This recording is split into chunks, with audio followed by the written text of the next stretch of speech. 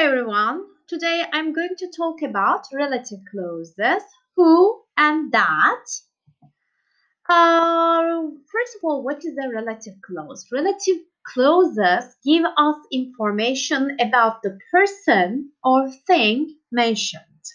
Defining relative clauses give us essential information, information that tells us who or what we are talking about. Imagine that you are at a party and your friend John is dancing with a girl and you don't know who that girl is and you want to ask your friend next to you, do you know the girl?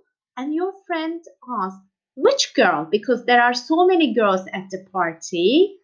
You say, do you know the girl who is dancing with John. So you are modifying the girl, you are giving information, you are defining the girl, you are modifying modifying the girl. We can use who or that for definitions. For example, a waiter is a person. He serves customers in a restaurant. So we can use a relative pronoun here. We can say that a waiter is the person who or that serves customers in a restaurant. Who and that have the same meaning, but that is more informal. A seaman is someone he works on a ship. So we can combine these two sentences saying a seaman is someone who or that works on a ship. The relative pronoun can be the subject of the sentence. The people who or that live in this neighborhood are very friendly. So the subject of this sentence is not the people. The people who or that live in this neighborhood. So this part, this blue part is the subject. Are is the verb here. The man who that knocked on the door was my brother. So this blue part is the subject of the sentence.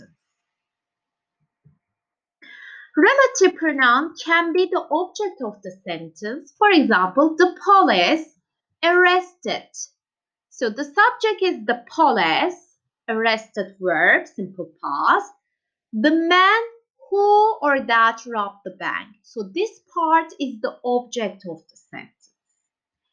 Emily has met a man who or that is a chef at a small restaurant in Paris.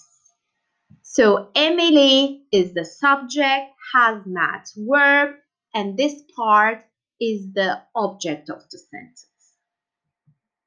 Let's do a few exercises. The woman is Jane's mother. She's wearing a red jumper.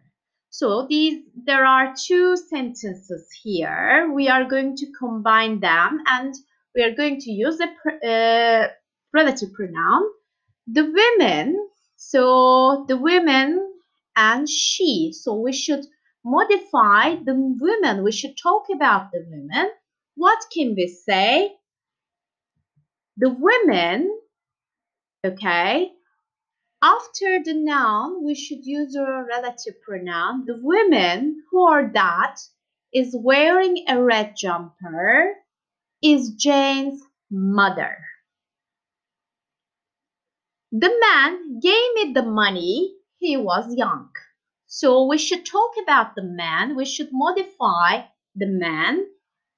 The man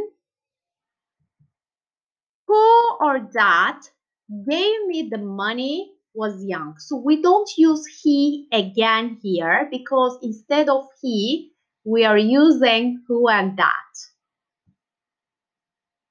The girl had a serious injury. She was taken to hospital immediately.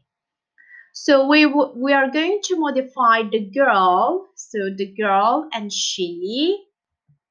The girl who that had a serious injury was taken to hospital immediately.